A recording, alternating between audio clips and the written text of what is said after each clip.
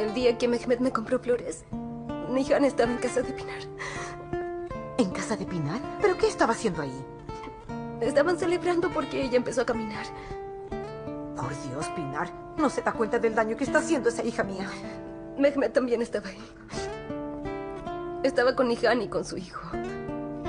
Y claro, se divirtieron todos juntos. Pero Mehmet no me dijo nada, madre. No hemos hablado como corresponde durante días. Ni siquiera me ha preguntado si tengo algún problema. Puedes imaginarte la madre. Estoy embarazada y a mi esposa no le interesa lo que me pase. Está bien, hija, no te alteres. Yo hablaré con mi No, hijo. madre, no lo hagas. Él tiene que darse cuenta. Tienes que decirle que no vea a Nihan. Puede ver a su hijo todo lo que quiera, pero a esa mujer no. ¿Por qué está tan apegado a esa chica de todos modos? No lo comprendo. No puedo decirle algo así. Se lo tienes que decir si no se arruinará tu matrimonio.